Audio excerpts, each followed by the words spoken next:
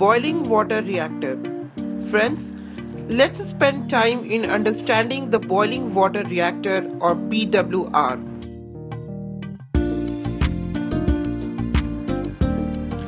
In case of a commercial boiling water reactor, following process takes place. Core inside the reactor vessel creates heat due to nuclear fission. A steam water mixture is produced when very pure water moves upward through the core, absorbing heat. Due to heat, cooling water is boiled which further produces steam water mixture. The steam water mixture leaves the top of the core and enters into the two stage of moisture separation before the steam is allowed to enter the steam line. The steam line directs the steam to the main turbine which turns the turbine generator thereby generating the electricity.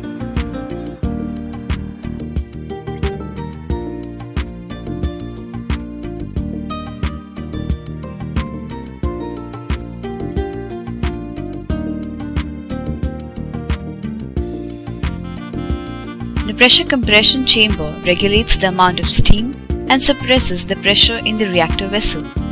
It is a safety feature that prevents the reactor from exploding. In a BWR power plant, the condenser is situated below the turbines.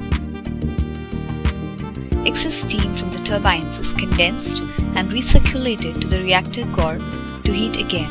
This process is repeated continuously.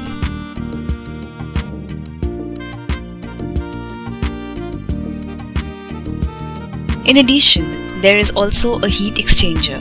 In case of a reactor shutdown, this device cools the residual heat via natural convection. So that's what is happening in the boiling water reactor. Take a moment to see visually how electricity is generated.